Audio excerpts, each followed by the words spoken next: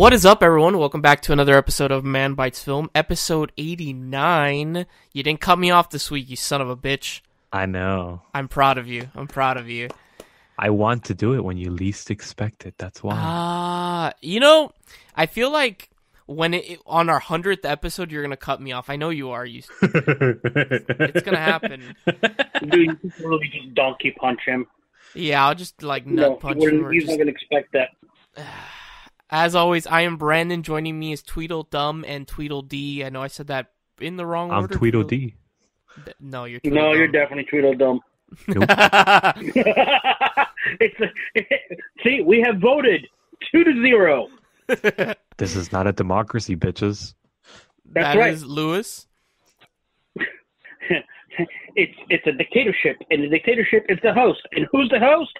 Branden. I am the god. I, I am the producer. Shut up, shut up, bitch. This is my domain. I have the power to censor you. This is my domain. That's Luis over there. Listen, you Putin-looking motherfucker. That's just I love because how I've I'm fucking introduced you bald. twice and you don't say anything. That's Hi, William over everybody. there. That's that's William. Hi, the only man that's on my side. Did you say hi for me? yes. Fuck off. Let's go. Move it. Come on. Moving What do you you. mean move What do we? What do we do, Branden? What do we do What do here? you mean move it? What What do we do? Move it, move it. I like to move it, move it. Oh God, no, no! Please shut him up. Um, if Oh, you're yeah, joining, that's Moving right. news, let's go. I have the power to mute him. if you're join, if you're joining us for the first time or the 89th time, we are a weekly movie podcast where we talk about movie news. We review one movie altogether, and then at the end of the show, we review three individual movies. So, Luis, uh, take it away with the movie news, even though there's none. Ha ha! I beat There you to is. There's an entire Academy Award nomination. See, Yeah. I have the power to mute him. Stop muting him. Stop being an asshole. no. So, uh, yeah, today I just want to talk about the Academy Awards because, yes, that that is the biggest thing that's coming up. This is our fucking Super Bowl. So, yes, Who gives a shit about the Oscars? I don't. uh, I don't take it serious, but you know, I do enjoy watching who the hell is going to be selected and who the Academy thinks that should be nominated for these awards. So, I think there were definitely some big snubs this year. oh hell yeah, the biggest one is Rocket Man by far.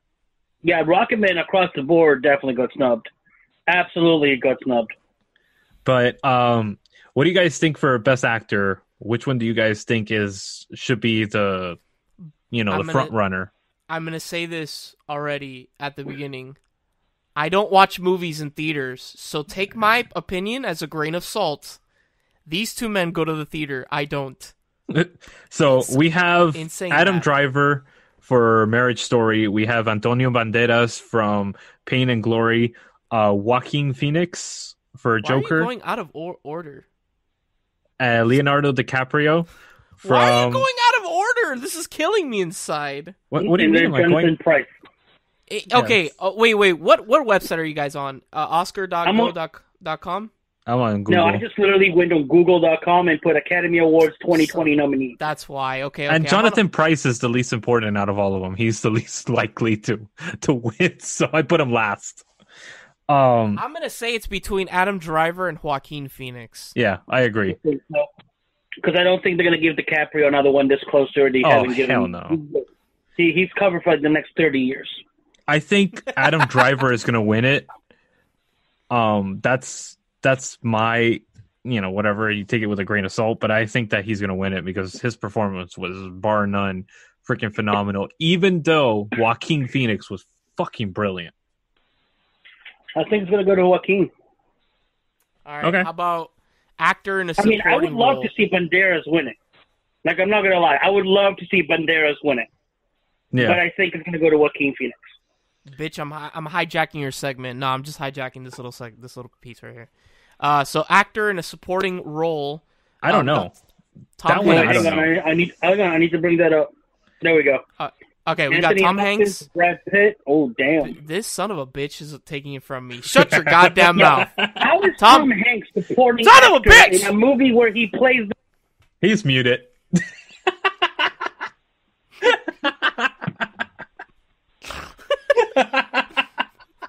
Can he hear you when you mute him? Yeah, yeah, though? yeah. Oh, okay. All right. This is when he hangs up and then he's like, "Fuck you! I'm never doing this show ever again." Okay, so we got we got Tom Hanks in A Beautiful Day in the Neighborhood. We got Anthony Hopkins in The Two Popes, Al Pacino in The Irishman, Joe Pesci in The Irishman, and Brad Pitt in Once Upon a Time in Hollywood. William, are you there?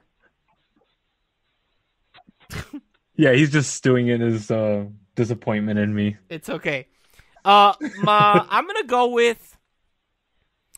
I'm gonna go with either Al Pacino or Brad Pitt. Uh, You guys there? I would probably say Brad Pitt, but I'm not sure. William. What do you think? Well, it cannot be Tom Hanks because he didn't crash a plane, so he's not gonna win. Uh, Um, I don't think Pesci was enough in The Irishman really to. I mean, i i between Pesci and Pacino, I'd probably give it to Pacino. Although he's won an. Did Pesci ever win an award? I don't think he's ever won an Academy Award. I don't think so, but I don't think I this don't is a, a vehicle for that. Honestly, not for him. well, I mean, for what DiCaprio won, it shouldn't have been for what you know what I mean. And for what Denzel Washington won, there were much better movies that they were in that they should have been nominated and won. So I think this I is a can see them clear cut Brad Pitt. I could see this clear cut Brad Pitt win, and this will be their Mm. their like uh what do you call it um uh pity vote for Once Upon a Time in Hollywood because I don't think it's going to win anything else. Yeah, but Pitt's already won an Academy Award, right? Yeah, but that doesn't mean anything. He's a No, he's know, but I a always go- darling. I know, but I always go for the one that hasn't won one yet. That's what Oh I yeah, like. that's that's what you go for, but the Academy won't. Mm. So Oh. best picture. Put What do you guys- Pesci.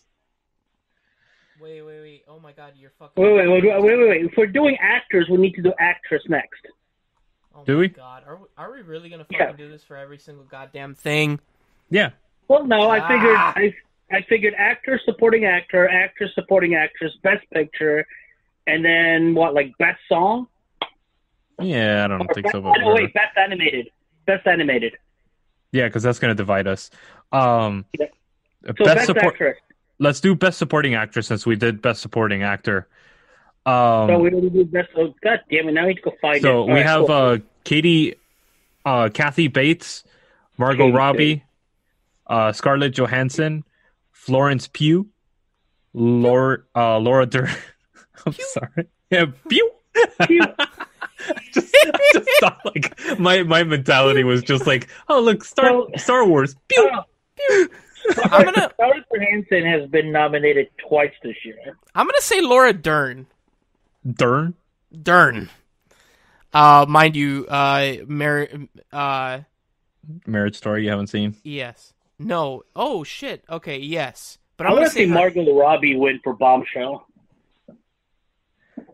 Eh, I haven't watched you know it, so what's I funny? can't tell you you. know, you know that really threw me off for a second because I, um, Laura Dern is also in in uh, Little Women, and I thought that's what she was nominated for, not Marriage Story. Marriage Story. That threw me off real hard. That's Eh. why I said Laura Dern. So I retract my statement. I She do was not know. great. Florence Pugh for Little Women. Pew. Pew Is it really Pugh, or are we just mispronouncing her name? No, it's Pew. Oh, Pugh. Okay. Like Um, Pu, you know? Oh yeah, she uh she does a, a- an incredible. I could see her, or I'll go with her because honestly, that's the only movie I've seen out of those. Uh, even though I'm, I'm gonna be watching Marriage Story, I know, I know, I know, it's easy accessible. I don't know. I'd like to see Margot, but I think I don't know. I think they would give it to Bates. I don't think she'll win for that. I think it would be Scarlett Johansson for JoJo. Oh wait, she's for Richard Jewell. Yeah, no, I don't think Bates is gonna win. Yeah, no, Um, no. I think Scarlett no, I Johansson mean- will win it. I want to see everybody up in arms, and I want to see Scarlett Johansson win Best Supporting and Best Actress. That won't happen. I'm That'd be surprised she's funny. not. I'm surprised that Scarlett isn't uh nominated for Marriage Story. She is. She Oh, is she is. Yes. Best Actress. Oh, So let's Oh, go okay. into that one. Uh, Charlize Theron for Bombshell. okay. Uh, Renee Zellweger for Judy. Cynthia That- Erivo. That that For name Harriet? Zellweger, if you say it in a weird way, it's No, we're moving on. We are moving on. Scarlett going to do it like Johansson. Arnold over here. Scarlett sorry. Johansson for Marriage Story, and I Okay, oh, something Ronan uh, Okay, for I- okay. Women. I, I was gonna say, how do you say her name? And I just googled it. It's it's Irish, and I think it's pronounced uh Shura or Sura, something like that. Shura. okay, sure. What you said, Sure. No, Sure. Sure. Um, hmm. I don't know because I hate it. Uh, what do you call it, Harriet? I finally saw that crap. It was it was pandering bullshit. Shersha. And- Sorry, Shersha. That's how you, I think you how you pronounce her name. That sounds about right. I think I remember an interview, and that's what they said to her. So Yeah, yeah, yeah. I, I think that could be right. And I haven't seen Bombshell, so I don't know. But Charlize Theron always fucking, she's amazing in everything she does. So I wouldn't doubt that she could potentially pull off a on a an Academy win with that. I well, okay, go, not going off of fanfare, but going off on how the Academy could potentially work. I can see Harriet winning this Yeah, award probably, you're right. because it's the only minority that has been nominated in e- any of the four categories. Hmm, you're right. Mm, mm, Very, very right. okay. and there's already an uproar that I honestly think that um, Awkwafina should have been nominated for her role in the movie that she won the Oh Golden God, Globe in. bro. I fucking fact cannot. God, sorry. What? Even- Oh, the name? I can't take that name seriously, dude. Awkwafina, like how? how? What? I'm sorry. I'm sorry. You know, it means something completely different in her language, right? Yeah, it probably does. It just It's like somebody saying, "I can't take somebody like with the name Dank seriously," even though it means something completely different in Korean. Just saying, just putting it out there for Damn, anybody dude. named Ben. damn, dude. So, You know, I'm not gonna. all the I'm not times that you've been made fun of for not taking seriously because Not of your name, Awkwafina. I feel you. Anyway, So, all right. that's great. Moving on. Um, let's Um, do best director. What do you guys think for best? That's not even her fucking name. What? Best director? No. No, it's not. It's Awkwafina's name is Nora Loom. Yeah, Loom. Yeah, but she changed it to Aquafina. Why would you change it to that? What the it's like, fuck, do man? you always want to be know. Recognized you as a be fucking born- water brand? Why would you be born Guglielmo, but your parents decide to call you Dank? I don't fucking know. Just Eh. But like, I heard that that happened to somebody. Um, So, best director. best director. Director. Uh, Quentin Tarantino for Once Upon a Time in Hollywood. Todd Phillips for Joker. Uh, Bong Possibly. Joon Ho for Parasite. Martin Scorsese for The Irishman. Sam Mendes for 1917. so I'm seeing I'm sorry, a lot this of Friday. respect for everybody else, but I'm going with Mendes. Just because of the way that this movie was shot, it, it was fucking phenomenal. Yeah, but it'll be cinematography, not or editing, not uh director. I think it's gonna end up going to Scorsese or Oh, uh what do you call it, uh Tarantino. Yeah, it'd I- I don't agree with it. Wins. I'm surprised Jojo. Rabbit isn't nominated for Best Director. I haven't seen Parasite. I've heard it's incredible. Gorgeous. And I just added it to my Vudu account today, so Oh my god, you fucking beautiful human being. Thank you. God damn it. but Vudu Par- is Brendan's movie theater. yeah, right. Straight up, you have no idea. Parasite Um, is is nominated for best foreign win. picture. Yeah, I think So it's gonna won't. win That'll that, That'll but I don't think it's gonna win Best Director. It'd be Yeah. great if it does. Don't get me wrong, But, it won't. I don't think that they're gonna give him two awards. And Todd Phillips will not win for this. He oh, will not. also Parasite is nominated for Best Movie, not just Best Foreign Movie. oh, really? Yeah.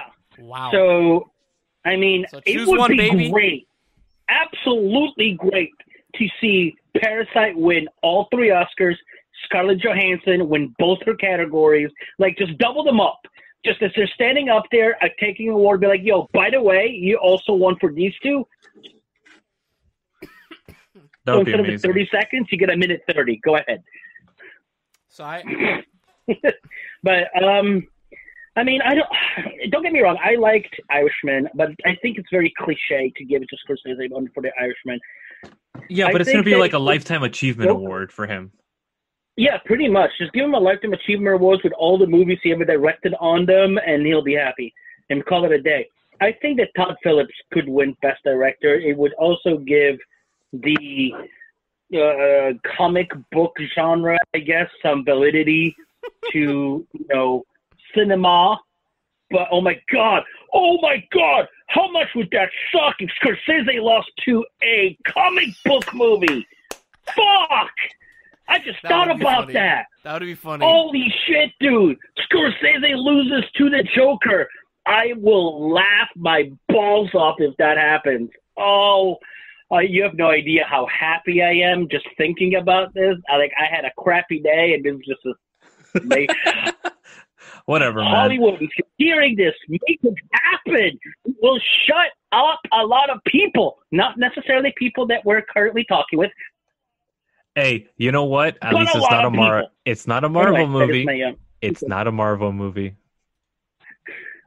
it's- but Moving it's still, on. Like a good. Okay, moving on. Yeah, So- moving on. Uh, best Best- cinematography: Robert Richardson for Once Upon a Time in Hollywood. Robert Give me Prieto. a second to bring it up. There we go. Robert Prieto. Uh, I'm sorry, Rodrigo Prieto for The Irishman. Roger Deakins for 1917. Jarin Blaschke Blashki, Blashki. for The Lighthouse, and Lawrence Shear for The Joker. I think it's gonna be. This is the only one that I Cinematography, probably I think- 1917. 1917 or The Lighthouse will be up. I was gonna say the Yeah. same fucking thing, Luis. Same I thing. can see it. I'd like to see 1917 though, because that was definitely. Uh, I- like, yeah, I- I've my- never seen a movie like this. I'm but gonna you've go never watch seen a movie 19 like The Lighthouse either. The Lighthouse is Yeah, fucking great. I'm I'm gonna go see 1917 this week this weekend. Hopefully, if I don't have the plague. Um, uh, but definitely I could see 1917 winning, and then the Lighthouse. That would be like my second choice because the Lighthouse is definitely very unique. Yeah. So let's do the last one, the behemoth that is Best Picture. So wait, you wait, have wait, wait, wait, no, no, no. We, we got to we got to do animated. no fuck that animated movie. No, no, no. Whoa, whoa! You said we you said we were doing animated. Yeah, yeah, yeah. We all know what's gonna win. It's How to Train Your Dragon.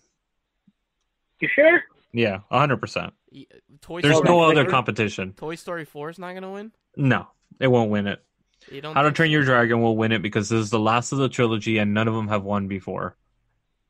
What the fuck does that have to do with that? why am I not finding best animated short, best production design, best costume, Best Best visual- animated feature. anime, original cinematography, adapted, original? Okay, William, we Boring. don't need you to read All right, out all right. loud. Best motion No, I picture. can't find it. There we go. Best motion picture of the year. We got Ford Wait, wait. versus go. You don't Ferrari. think Klaus? You don't think Klaus is going to win over Not a How to Train Your. Dragon? Nope. I would like Even- Klaus to win, but it's Yeah. fine. Yeah. I'd like to see Klaus win over How to Train Your Dragon, and I loved How to Train Your Dragon. All right, so we got Best oh, Okay. Motion Picture of the Year nominees, and those are Ford versus Ferrari, The Irishman, Jojo Rabbit, Joker, Little Women, Marriage Story, 1917, Once Upon a Time in Hollywood, and Parasite. Uh, it's gonna be tough, dude. I'm torn. I Again, I would love to see Joker win over Irishman. I feel like Irishman is gonna win. I think it might. If it doesn't win, if uh, what do you call it? He doesn't win for director, he will definitely win for best picture. He's gonna win one or the other. Period. There's no if, ands, or buts about that. What's your second choice, though? I want to see Ford versus Ferrari win it. It won't. Yeah. I would probably say it, I'm torn between Joker and 1917. Hmm. I, think can't- those two I are can't my see Joker win, dude. Picture that best picture. I can't. I could. Really? I, I, could. I we live in a world that that could actually win best picture. Which I'm okay you with. know, Personally, te- my my choice would be the Joker to win. Period. L- over all these movies. Something tells me that Little Women would win Best Picture for some Oh, odd hell no. fucking reason, dude. If that does, I am done with the fucking Academy. I I am legit done. Like that's it. I am not Mm. even going there again. He'll be back next year. I will Yeah, he will. Not. He Not after swears. that shit. He swears Little Women is a bad movie. Dude, Swears. it is fucking shit. It wasn't bad. Dude, I gave that movie like two stars on my fucking Letterboxd account because it was that bad. Nah, man. I actually liked it. I, I I enjoyed it. I enjoyed that movie. Yeah. It doesn't like you either. Okay. I mean, I would like to see Ford versus Ferrari, but it makes sense that probably if he doesn't win for Best Director, Irishman will win. Um, I mean, I can see fucking uh, Waititi coming out of fucking No, any uh, out of nowhere and win for Jojo Rabbit. not with that subject matter. It will not win in the Oscars. Not with fuckface in the in uh in uh, what do you call it, the White House. They will not put that up there.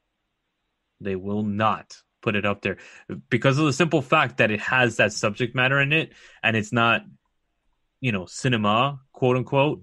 They they won't they won't put that up there. No way.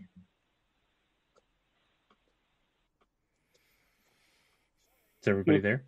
Alrighty, Yeah, I'm here. I'm here. moving on. I'm here. All All right. right. Are we done with this segment? Yes. Okay.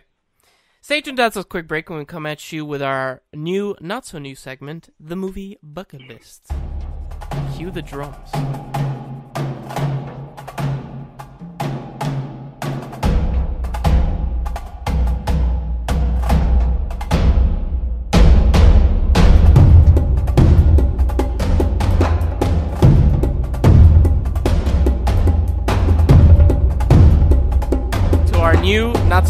The movie bucket list. This is where William has been bestowed these magical posters from the aliens from beyond. They float and everything. They're pretty cool. Maybe one day you'll get to see them. And he basically chooses. No, they're movie at invisible to other people's eyes. You forgot that random. part. Mm. Ah, sorry. But we sorry. could bring it to MegaCon. We could. We could. And what? Sign it and raffle it. Yeah, that's a good idea. Hell yeah. Or, you know, we No, could just, you know, this was a yeah. present. I'm not giving away alien technology. so William chooses a, a movie at random, and then we all debate amongst ourselves if it should or should not be on this list. I almost died, almost choked on a fucking burp there. That was weird. Wow. Okay. William, what do you got for us, Yo. bud? I got a Yo. good movie. Since we started the Oscar buzz, I figured we would start with a uh, uh, some good Oscar vibes over here. Is it a Um, banger, as the kids say nowadays? Uh, no, it's more of a um, what the hell am I watching kind of movie, and then at the end it like keeps going on and on and on, and then before you know it, boom, over, and you're like, what? And like, you feel like you need like some chocolate and and sit on a bench, and then Okay. like go play All right. I didn't mute football, him. and join the army, and go to Vietnam. Run, Forrest, run! with your girlfriend, right with with your girlfriend Jenny. Um, yeah, if you haven't figured that out by now, it's one of the Academy Awards Tom Hanks won without crashing a plane. Uh, it's uh, Jesus. what? Prove me wrong. Forrest Gump. And the movie that features the biggest bitch of all time, Hey, whoa, mom? whoa, whoa. Uh, For, Forrest- Jenny, Jenny? Janet, the biggest bitch of all time in movie. Oh, jeez, relax. That's a that's a Wow, That's a heavy she do to you? statement. It's a truth. the I love she this not movie. put out with you at the Panther party. I love this movie. Uh, I do too. This movie is incredible. I so wait from what you were just how you were describing the movie, William. Do you think that the movie drags on? Because I kind of got that from what you were talk how you were talking about it. Uh, the first couple times that I watched it, it felt like it dragged on a little bit. Um, then again, what the hell did it come out? Um, yeah, I was like 14. So it definitely felt like it was long. It's kind of a long movie. Um, but then as I grew older and I kept, you know, you go back and you, you know, watch it every so often. You're like, okay, Lieutenant Dan. not I'm sorry. I'm sorry, Lieutenant Dan is the best. Lieutenant Oh. Dan, you got legs. Dude, one of my Uh, favorite scenes is when he's on the boat, um, on his on his shrimping boat, and uh, Lieutenant Dan comes up to like the dock, and he's like, "Lieutenant Dan," and he just runs off the boat and like just goes into the water, and the boat just crashes into the dock. Crashes. Yeah, it's just so cute, man. It's such a it's a nice um it's very sad, yes, but it's also a very nice warm feeling that you get in your in your in your Eh. loins when you when you want maybe not in your loins, in your heart. Wow. But uh it's sad. I cry like a baby in this movie. Every time. Oh, Every time. That's Um, nothing new. No, it is not, but let's go home. But this is definitely like one of those precursor movies, like where I wasn't a bitch back then, but it was like the the one movie that would just break me, and then everything breaks me nowadays. I don't get sad in this movie at all. Really, you don't get you don't get sad ever. You're fucking dead inside, aren't you, dude? All right, Naomi, so Naomi, I know you're listening. Like, is he always dead inside? What is wrong with him? Save him, please. so On All that right, note. so I got a little bit of uh, movie trivia for you boys, yes, go ahead. especially you, uh, uh, Mr. Luis. you forgot my name there. fucking strong. Gary Sinise and Tom Hanks have been in three movies together. Obviously, Forrest Gump being one of them. Who again? Without Say it googling it, huh? Who? Tom Hanks, No, no, no. Who, And? who, and two, who and Tom Hanks have been in in three movies. Gary Sinise Okay. I would say have been in three movies together. One of them, obviously, being Forrest Gump. What are the other two movies? Forrest Gump, Apollo 13, and This is where he stalls while he's he's quietly googling it. I am He's- not. He's furiously like just Mhm. typing on his phone. I am he's like, not. He's like, fuck. Says the kid with the hand in the cookie jar. Yeah. no, I don't know the other one. That last one I definitely Branden? don't know. I don't. I I know it was Apollo Apollo 13, but I, I didn't know the. Yep, Apollo 13. The other one is another tearjerker. Oh with shit! John Coffey, Yes, yes, the fucking Green Mile. Oh my god, yes. Green Mile. Oh yeah, shit! I f- totally forgot he was in that movie. I had to rattle my brain on that one. Fuck. Um, but yeah, those are the three movies that they have been together. Um, which all three of them are like incredible movies. I mean, Bangers. as the kids say You know- nowadays. I love this show because it, over time I've noticed that I- I have put words in your vocabulary like banger, low key, and it it warms my heart. Or It warms my heart. that talk- Whore? Did you say whore? well, you said Loki, so I said Thor. oh, I thought you said whore. I, No, we all had it out of that in our vocabulary. I was about to say, I was like, I've I've been using that word since I was six. Jesus, since you- That's what I used to call my mama.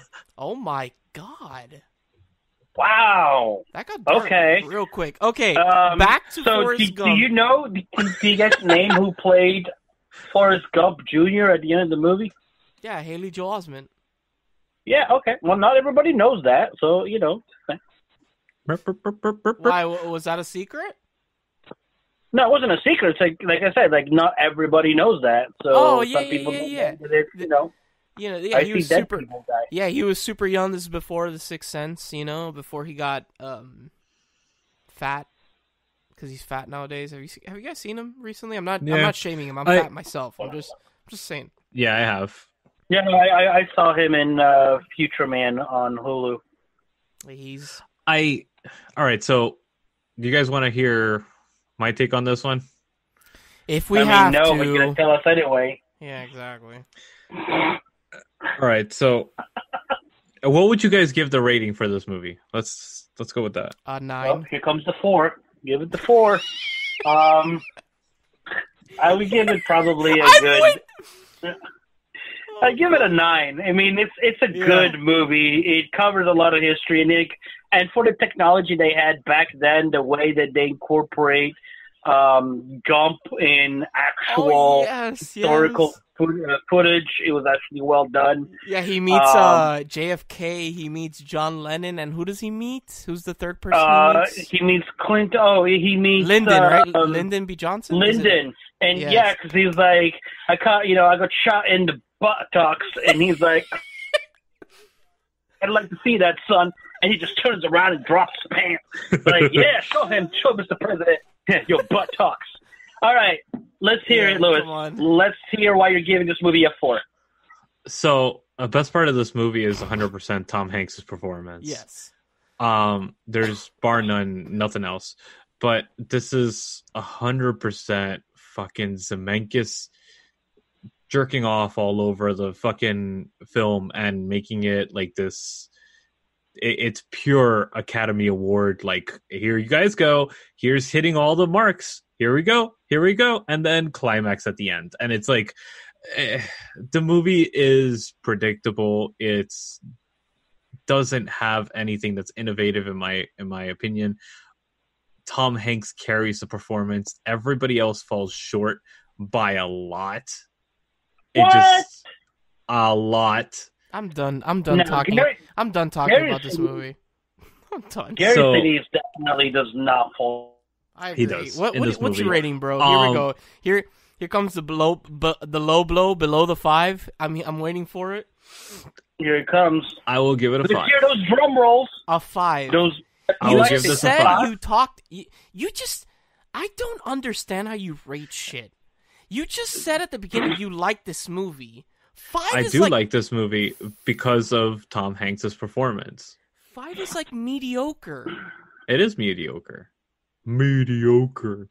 Okay, I'm done. Next segment.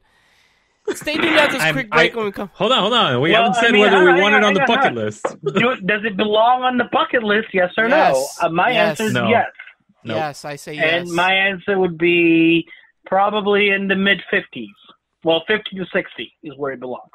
yeah, that sounds about right to me. Also, Nope. well, get get fucked. We outvoted you. The movie doesn't like you either, asshole. Moving this way.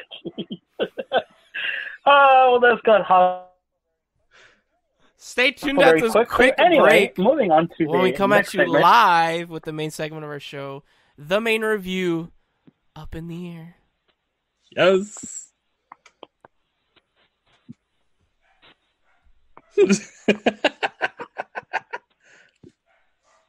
I'll never, I'll never understand how you rate shit, dude. I'll never get it. It makes absolute no fucking sense to me. This movie's great. It's a four. I Ne- what? so I love this movie. How do you I love it and give it a five?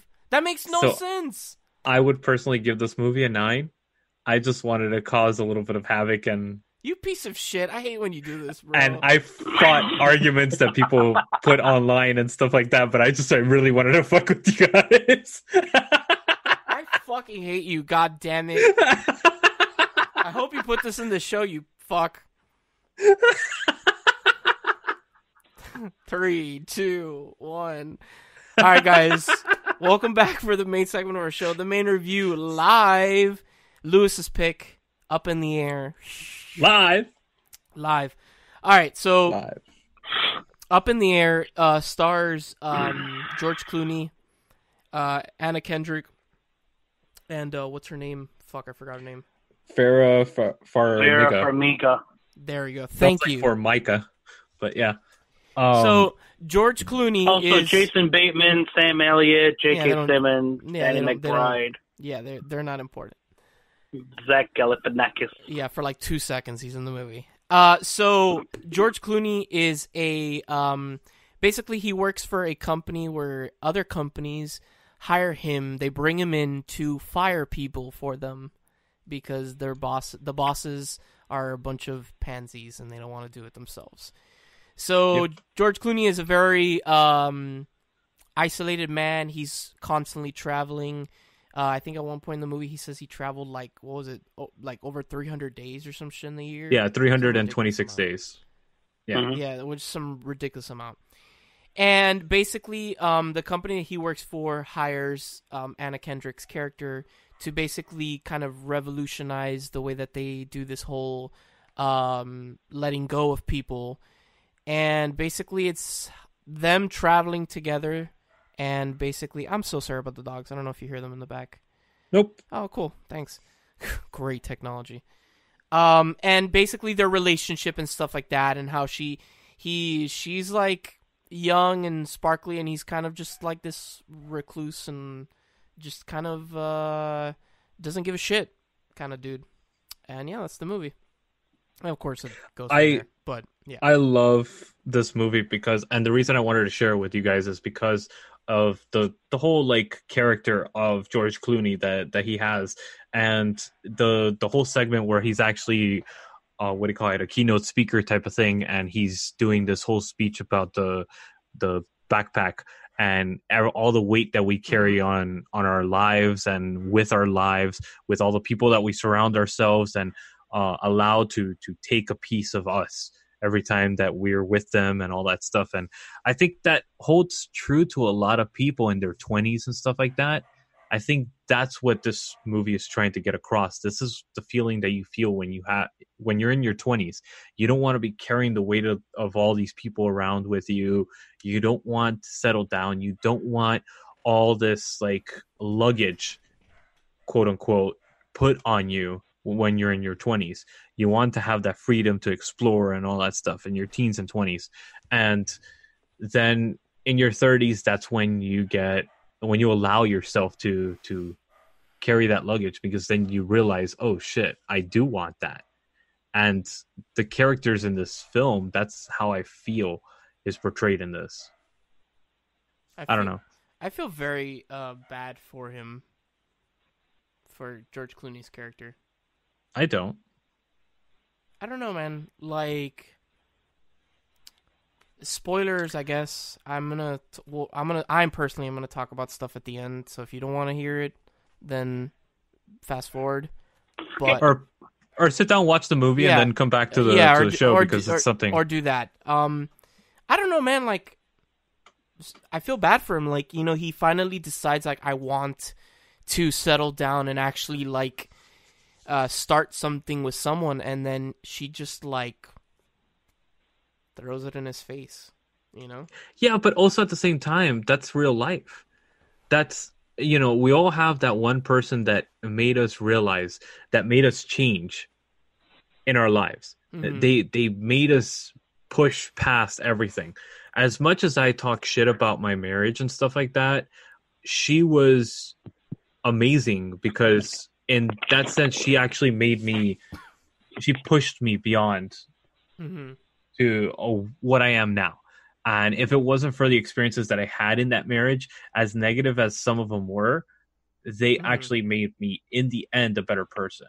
The same way that I, I think about like my parents and all that stuff that happened with them, it actually made me a better person because it made me realize a lot of different things that I didn't know. That that ending, well, not the ending, the the like when she when it's revealed that she's married and has like kids, like really fucked with me for some odd reason. I was not Yeah. expecting that. I wasn't either when I, first was, saw this. I was like, whoa. um, and it's just like I don't know that the movie's sad. I think at the end of the movie, like when he lets go of the luggage, like I feel like he's like legitimately alone. Yeah. He has no one. I think so too, and but that that's what it's about. It's about that the, the fact that we all are alone at one point in our lives, and I think it's important for us to realize that we're not meant to be alone. We're meant to be in groups of people. That's what humans are. That we're a very group centered uh, race, and that that we're yeah. know, us as humans. We need to be in groups of people. That's how we we work things Do out. we- That's how we grow. Do we though? we do. Yeah, I I think being isolated it, it really fucks with people. It does. Why do you Look at think The Shining. why do you why do you think they put like like uh, prisoners and shit in isolation? It fucks with them and stuff like that, and it's not good. Like you know, I say like I like to be alone, but then there's every so often where I'm like, oh, I want to see a person. You know, I like seeing another human being's face, talking to another person. Yeah, William. Also, remember, you live in New York, where you have too many people around you. Yeah. Ain't that Yeah, the but you- fucking truth? But you also have your girlfriend and however many people live in your apartment with you, you know, like you're not truly alone Ever. ever. Yeah. And plus, we also live in a day and age where social media is a huge thing. So technically, none of us are ever alone, even if we're in our house This is, this is pr- with nobody around. Yo, I So- you know this movie's dated when he says MySpace. Yeah. He talked about mean, MySpace. Dude, I really love this movie. I love the message I of like this this movie. movie. I like this I movie. too. really it, it it it struck a chord with me when I first watched this because I was going through a lot of shit and it really hit home when I saw this. hmm I liked it. I thought everyone's performance. I I think that they all like the three of them did a really really good job. Specifically George Clooney. Yeah. He's a he's a dreamy dude. I know I Dude, s- and he I know I he knows how to act. I, I just look at him and I look I see Batman with with with ass and nips. That's all I think about. No, but for Well, I mean, I see her and I'm like, where's our her aka friends? Because she's gonna break out an acapella song any minute now, very true, and that never happened. very true, very true. Dude, one of my favorite So things you know, yeah. one of my favorite parts is the the part with um um oh my god what's this actor's name that he's really famous the older guy that they fire Yeah, uh, the uh, Sam Neill. no, the Sam no not Elliott? Sam Neill The- not Sam Elliott the the He's- one that he's plays the pilot uh J. Jonah Jameson. uh, oh, J.K. Simmons. Simmons. Yeah, J- yes, J.K. J.K. Simmons. That whole segment where he's telling him, "Look, I see on your resume that you know that uh, what do you call it? You actually did culinary arts. Why don't you do that? Why don't you go back to that? Find your passion in life." I that five minutes of dialogue is. I hold that up in like probably top hundred scenes of all time in cinema for me because of the fucking dialogue. It's just it really struck home to me because I'm like, you're fucking right, dude. Why do you want to work in this like dead end job, nine to five? That yes, it helped you through a crisis in your life to get started, and you just meant it to be a job that you would work for six months and then move on, and you got stuck there. And Mhm. you know, there's whole movies based on that plot, but these five minutes of this dialogue hold true. It it holds better. Uh, what do you call it? It holds better than the whole movie of Fight Club in those five minutes, and it's the same exact story that's that's being played out. This guy that's that you know, for lack of a better word, is stuck in this dead end job and is getting fired. And this guy is telling him, "Look, this is a wake up call. This isn't a, a dead end. This is a wake up call. Go home and do what you love. Find something that you love to do." And I think we all want to do that, dude. Yeah, I don't know how many times I've said like fuck this. I just I want to quit my job. And for everybody out there listening that from my job, I don't want to quit my job. Um but just in case of my bosses. But uh what do you call it? No, like I I want to just say fuck it all and just go and and apply for something in in TV or film and just dip. But at the same time, I don't because I do what I love. I love talking about movies, and that's what I do with you guys every week. And I have a passion, and I follow that passion with this podcast. hmm So yeah, it, you know, there's two ways to approach it, but I think this film woke me up when it when I saw this film was pretty much I started the idea of doing something talking about movies and all that stuff and then the the YouTube came around that Branden and I started and it just evolved from there but this movie was the catalyst for that. I don't think I've ever said that to anybody but yeah, this film was the catalyst for that. And it changed my even- life. I didn't even know that. I liked It it. changed my life. I liked It it. really changed my life. Um, it's a it's a good movie. I I just think that it's, I don't know. Inherently, it's just, we're all alone, and it's kind of like depressing. But hey, that's life, right? Yeah, exactly. Uh, I would give it an ocho, an eight. How about you? Okay. I would give this a 9.5 out of 10, but that's also because personal Yeah, connection. bias, bitch. How about you, Yeah. William? Um, I'll give it about a seven and a half. Okay, okay. I Okay. def I definitely think uh, their performance elevates things a lot in this movie. Agreed. Uh, but yeah, definitely check it out. It's uh, streaming on the Netflix. Yeah. And uh, there's a wonderful I, I want to say this one line that that Clooney says I'm like my mother, I stereotype because it's quicker. Yes. I, I fucking love that line because I've said that how many times in my life because I'm like, yes. That whole thing where where he's in the in the airport and he's like, no, no, no, go with the Asians because they're quick and they they pack light. I was like, oh my god, yes, That's very true. That's so true. so end rant. End rant. All right, guys, stay tuned at this quick break when we come at you, not live, never live, with the final segment of our show, the individual reviews.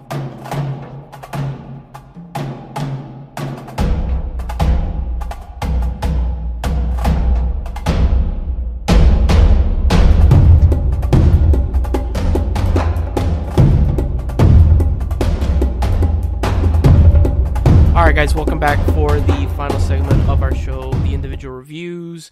William is going to be going first this week. I am, I am, and it is a hell of a tearjerker that I am coming with you at you. Um, Coming with you? You coming with, me? you, yeah. No, Coming that's the Yo, I can't say I've ever Right. done that with a friend before, dude, but there's always a first. Speaking of coming with me, make sure you tune in to Candlelit Blowjobs. What? Uh, Um, I'm like, what? hey, I plugged hey, the man, plug, right? Plug their show, baby. Um, so mine Uh-huh. is a 1993. Uh, it falls under fantasy romance. Hello. Yeah, no, you're Yep. good, you're good. Because you, like, stopped Oh, for okay. a second there. We're like, uh... and it so it stars. Uh, so we're talking 1993.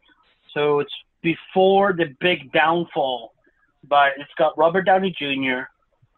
It's got Kyra Sedgwick, Charles Grodin, Tom Sizemore, B.B. King, David Paymer, uh, Alfred Woodward, uh, Woodard. My apologies. Uh, and I think that's like the last of the really big names it's not a big cast. I mean, there's one, two, three, four, five, six, seven. There's 14 roles in the entire movie. That's it. Um, of which six of them are the main ones. Uh, it's about this. Oh, so the movie is Heart and Souls, uh, and it is streaming on Cinemax. And I found by pure uh, chance because I was on uh, Amazon Prime, and I was like, oh, I wonder if they carry, you know, this movie. And sure enough, it the Amazon Prime doesn't carry it. The add-on Cinemax carries it. So if you have that, this is a movie that you definitely want to check out. Is this when Robert Downey Jr. was taking a lot of drugs? It, it was right before like his big downfall because Mm, his downfall was like his spiraling was like 96, 97. Gotcha, okay, okay. Actually, no, sorry, sorry, sorry. I was already driving at the time, so 98, 99. Okay, okay. Um, and basically, it's these four different people from all from four different walks of life. They end up getting on this bus.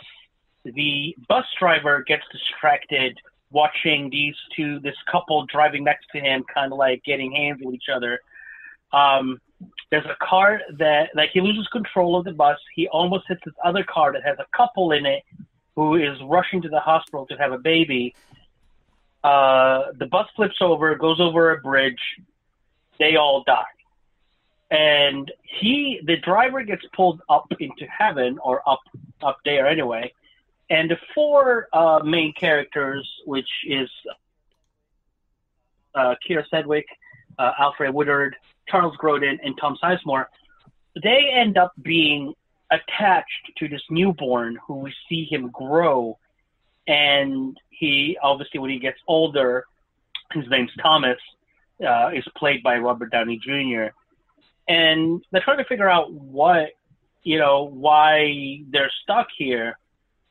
And come to find out that they were given a chance to try, because Robert Downey Jr. is the only person that can see them. He can communicate with them. He can physically see them. Nobody else can.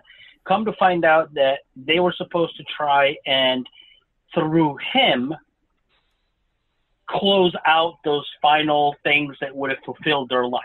Mm. Like Kyra Sedgwick was running away from commitment because her boyfriend wanted to her to move in with him, and she was like no, and she was trying to run away from commitment again.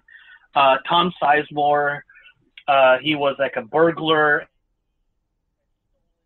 and he had stolen this thing from a kid for this person that paid him a lot of money, and he felt bad about it, and he was on his way to rectify it, and he died. Uh, Grodin was a performer, but every time he went to audition, would get stage fright, so he could never actually perform on stage. And Woodard was just she wanted to see her kids one more time. Hmm. So then finally they figured this out, and you know uh, they they go about trying to figure you know how to go about doing this. In the meantime, Downey Jr. was or RDJ. Um, he doesn't want anything to, with, to, to do with them because they kind of like traumatized his childhood. so it's it's definitely there's definitely a lot of comedy. Um, be uh, you know the, the just the fact BB King is in it and you get to see him play his beautiful guitar, um, which is great. Um, Why are you laughing, Luis? it's a great movie. It is definitely a heart. You, you will cry. I don't care who you are. There will be at least one scene out of many that will just tug at your heart, and My you'll cousin like, is dead tearing up. inside, so he will not cry. I've never No, seen this I- movie. Neither have I. "Huh? I've never I've seen never this seen movie. seen it? Never. If if you get a chance to see it, uh, watch it because I think they, I think you'll enjoy it. I mean, you both got girlfriends. You think that if you don't enjoy it, they will. Okay. But- okay. Um, and the main, like the soundtrack is great, but like the main song in the movie is um, "Walk Like a Man" from Frankie Valli and the Four Seasons. Oh, okay. Um, and there's one scene where like they end up singing it a cappella, which is great. But I definitely give this movie like a good eight and a half, nine out of ten. Uh, my sister introduced it to me years ago when it first came out. I had gotten to see it uh, uh, many times, and it's been a lot of years since I got to see it. So it definitely tugged at the heart. Uh, it was also two o'clock in the morning, and so I was really overtired. Uh, so you know, we all get over emotional when we're tired, but still, um, watch it. Like, there's really not much more I can say about this, um, and I hope that you guys enjoy it. Sweet. Awesome. Okay. I'll check it out. Luis, what you got for us?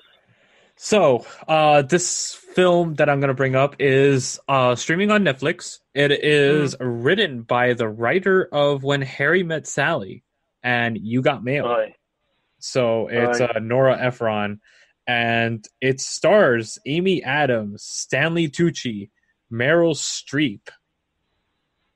Have you guys figured it out yet? No. no, Julie and Julia. Oh, that. This one. is the stored, uh, the story of uh, The Julia stored- Child.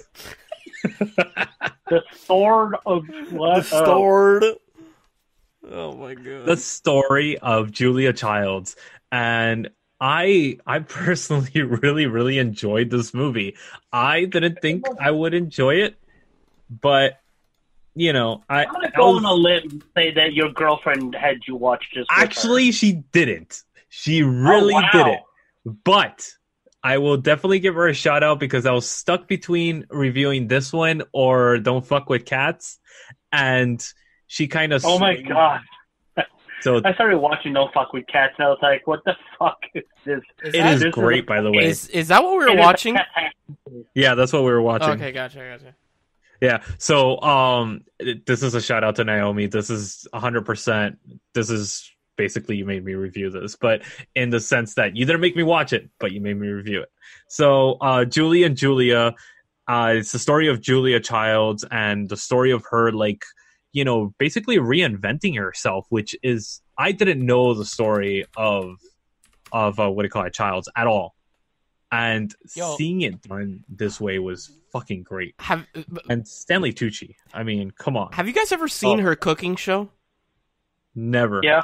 Dude, it is fucking hilarious. If you want a It is. if you want a It is. good laugh, watch Julia Child her her cooking show. It's fucking hilarious. What makes it even funnier is that like you watch this grandmother in a kitchen day in and day out, or episode in and episode out. Like she's your, she's the grandmother that everybody wants, and then you remind yourself, she used to be a spy. Yep. Like full blown, this lady was a spy before she retired and went. Oh, I think I'll put on a cooking show for people to watch and follow my. It's like what? Yeah. How do This you go from spying fucking to great. being a cook? it's fucking great. And the the movie Meryl Streep. Let me tell you, I cannot speak enough about Meryl Streep. I've turned a corner with her, and she's a fucking chameleon actress, dude. Like, Why do you think she's fucking nominated for anything and everything she does? dude, she is great. Like, I have never been a fan of Meryl Streep until recently, and just I, I'm just my mind is blown every time I see her in a role because she completely obliterates the role. First of all, in the best way Did you watch her uh, Into the Woods? I actually haven't yet, but it is on my list now. It is a musical. I'm warning you. I know, I've been told, but Okay, I've been told that it's a good musical. So, No. um, It, it's it's not compared to the actual show, but it's it's oh whatever. But anyways so yeah Ju- uh, julia childs um this is the story of this woman that's a uh turns blogger which is amy adams's character and she is basically blogging about going through the whole cookbook of julia childs and going through every single recipe within a year and she blogs about each recipe and all that stuff and her trials and tribulations that she goes through. But at the same time she's also going through her relationship and her marriage kind of you know hitting rocks and stuff like that during that time frame because her schedule is so hectic trying to cook everything that's on that cookbook. And it's it's an interesting story.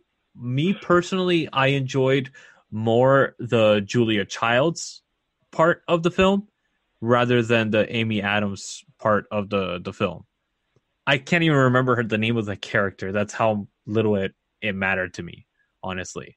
Like it mattered more what the parts that between Meryl Streep and uh, Stanley Tucci, because their interaction is just fucking hilarious, and I loved it. Um, William, you've seen it, right? It's been a while since I've seen it, but yes, I've definitely seen it. I think I saw it the year it came, like the year after it came out. So we're talking 2010 when I saw it. It's been like 10 years, but it, it was a good movie. It was entertaining. It's you know not one that I ran back and and jumped on. Um, but Yeah. But what do you Um, think of the? What do you think? Did you like the character that was writing the blog, or did you like the Julia Childs character better? Um, I mean, I was always a Julia Childs fan, so that's definitely the part that um, interested me the most, or that I liked the most, to to, to put it that way. Um, Plus, I know this is gonna like shock a lot of people, but I'm not that big of an Amy Adams fan. Nothing What? wrong with A- Amy Adams. It's just not my cup of tea for when it comes to the majority of the roles that she has done. She's done some amazing roles. I am not taking away from her whatsoever. Um, Uh, I mean, like I'm really not a big fan of her in Man of Steel, but that's also me not being a fan of Man of Steel. But um, was it? She, she was in Night in the Museum. She was. I liked her in Arrival. I thought that she was good. It's a banger. Um, not a fan. It was a banger. Yeah. Uh, she was good in uh, The Fighter. I definitely enjoyed her in that. Yeah, so I mean, what which one did you like better? Did you like Amy Adams or did you like uh, Stanley Tucci and and Meryl Streep? Uh, Stanley Tucci and Meryl Streep. Right. Okay. Branden, have you seen this one or no? I have not. No. Oh, you should definitely check it out. I think you would actually enjoy this with a girlfriend. It was good I saw movie. it. I was on I thought, on Netflix and I saw it because my my pick is also from Netflix and it kind of came up, but uh, yeah, I didn't watch it. that would have been hilarious if this was the one that you were going to review. Oh man. um, oh, like the like the week that me and you almost destroyed uh, Branden's pick. Yeah. yeah, seriously. Mhm, mhm. Um, so this one I give an eight out of ten. I thoroughly enjoyed this. It was fun. I really was surprised with it. I really didn't expect to enjoy it, and I really did. So, so yeah, that's my pick for the week.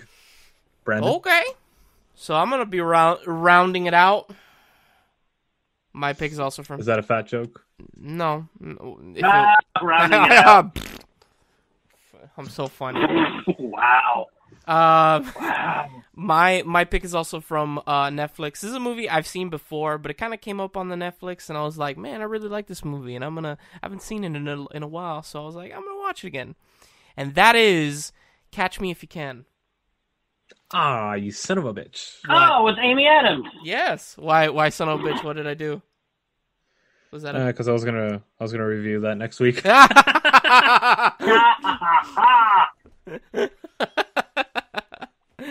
I really like this movie. Uh, so this movie is um, it stars Leonardo DiCaprio and Tom Hanks, and uh, Christopher Walken. and Tom Hanks does not crash a plane. Yes, and Amy Adams, and basically, uh, Leo is plays Frank Abagnale. DiCaprio. Uh, Shut up, man. He's not the DiCaprio. What's wrong with you? Do you really not like him? Don't you remember man the, the we couldn't say the name? Some respect. Wait, wait. That we couldn't say the name when. Yeah, remember like a couple weeks back we couldn't say the name, and I, I always get tongue twisted with it. I was just calling him DiCaprio instead of DiCaprio. Of course you would.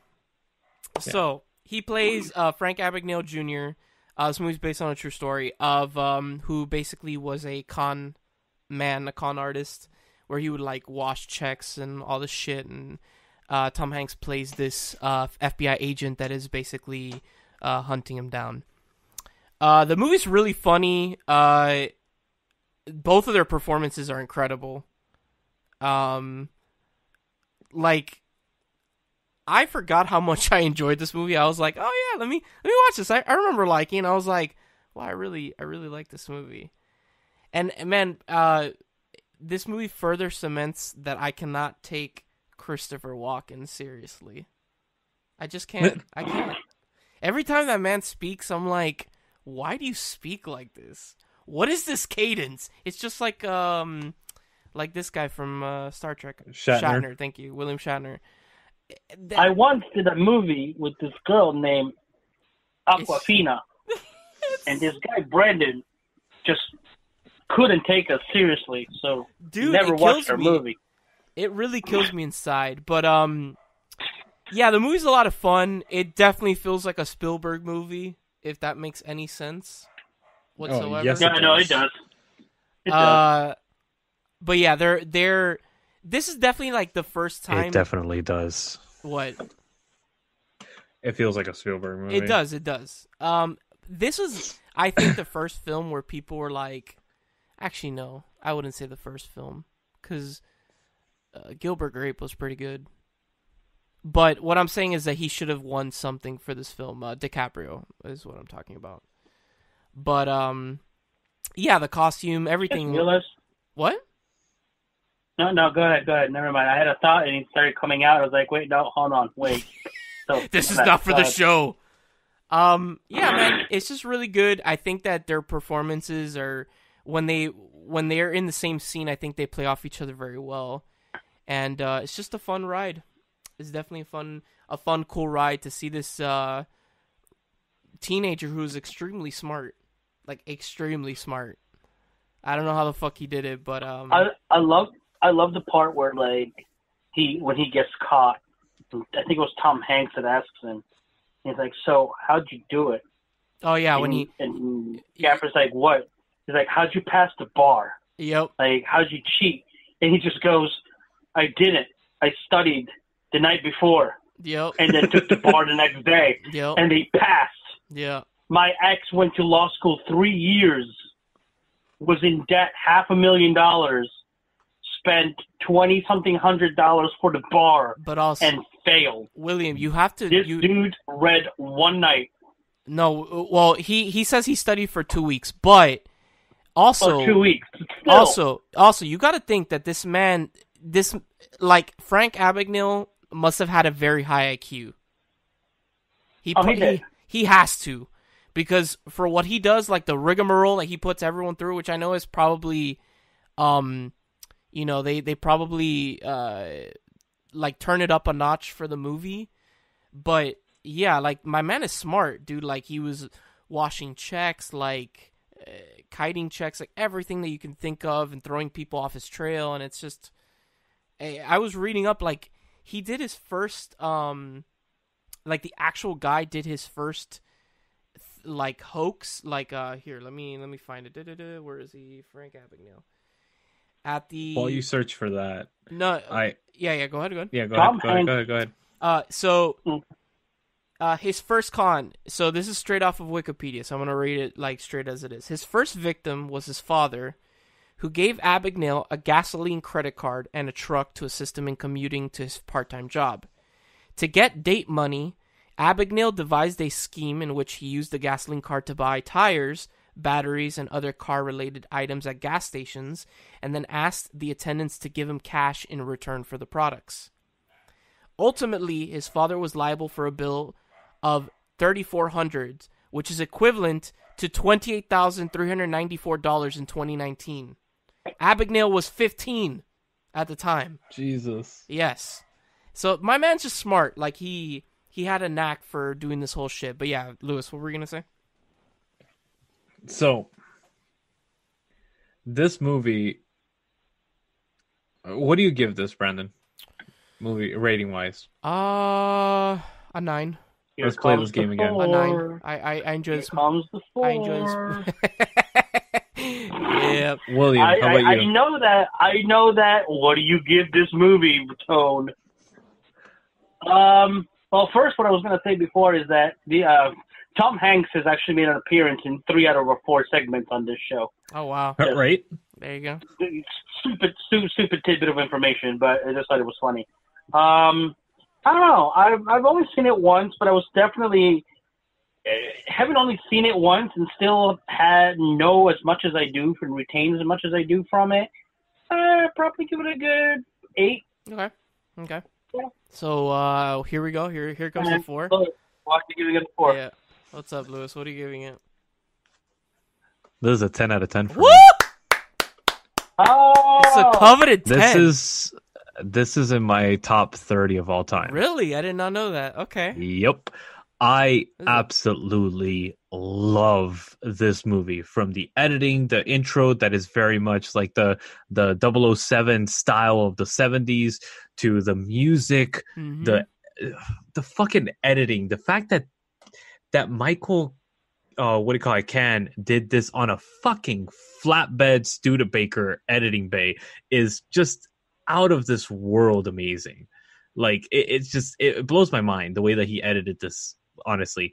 And then on top of that the the acting both of every single main actor and supporting character in this film is just Mhm. bar none. This is Spieley at his best. This is a hundred percent every single aspect of this film is on point. There's not a weak link in the whole film.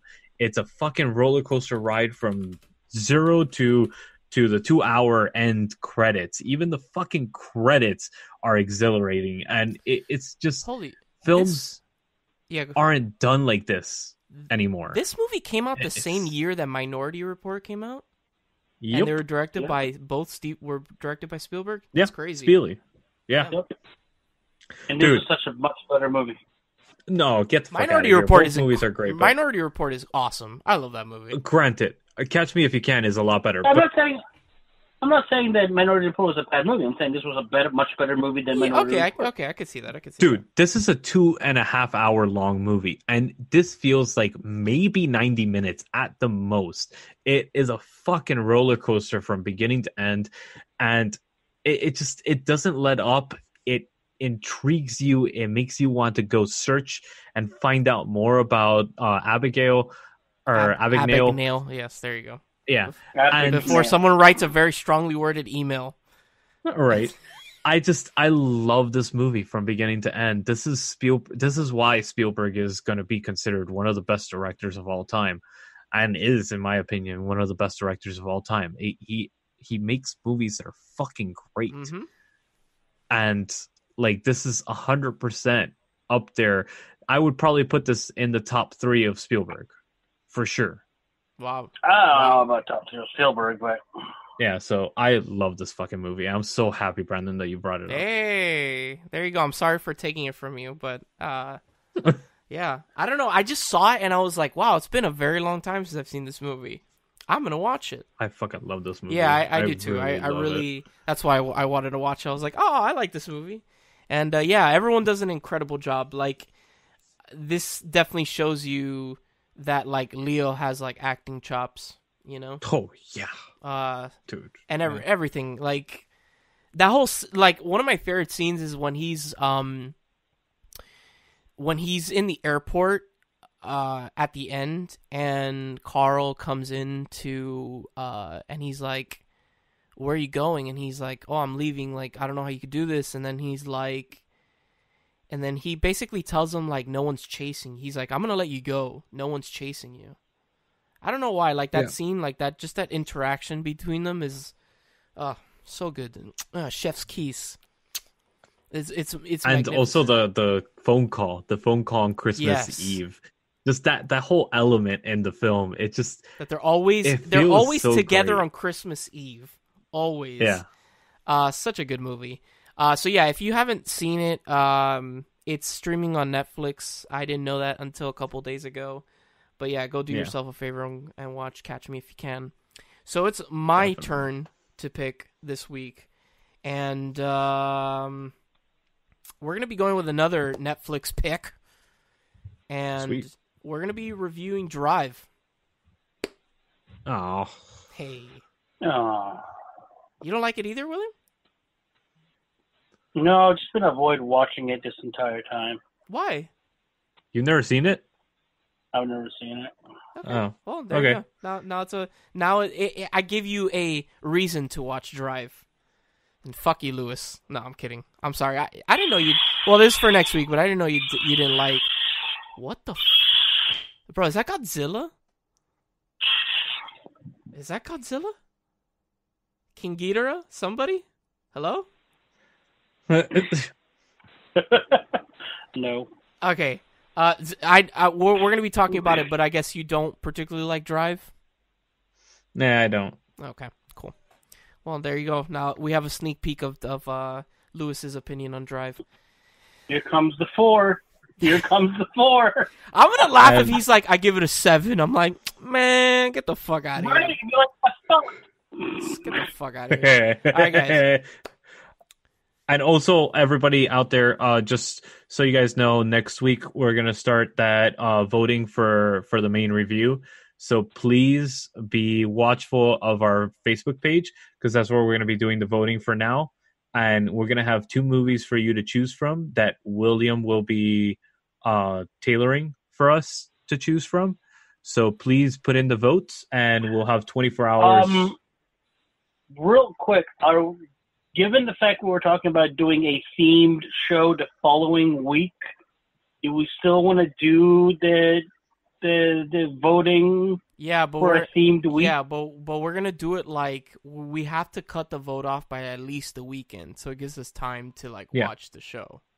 Uh, sorry, Okay. uh, to watch the movie. No, Uh, no, no. This will be the choice for next week.